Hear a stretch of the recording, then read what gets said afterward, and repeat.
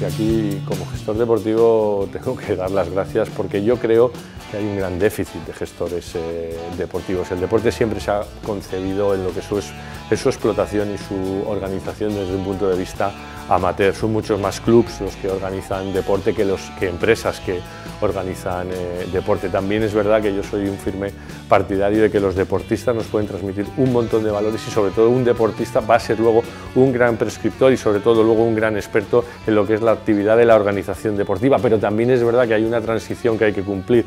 A veces no es posible pasar de la cancha al despacho, a veces hay que pasar de la cancha al curso, a la formación y luego al despacho. Y en esa línea yo creo que cursos como el que estáis eh, promoviendo para nosotros son eh, extraordinariamente necesarios.